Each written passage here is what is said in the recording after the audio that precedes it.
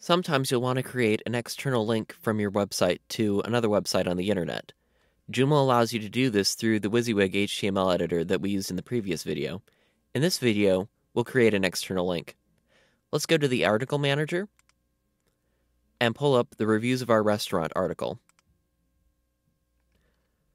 We'd like to create a link to Gastronics magazine, so let's select Gastronics magazine, and you'll notice that the link button highlights. Let's click the Insert Edit Link button, and it pulls up a box that we can use to edit our link. We're going to enter in the URL for Gastronics magazine, so click the link URL box, type in http www.gastronomics.com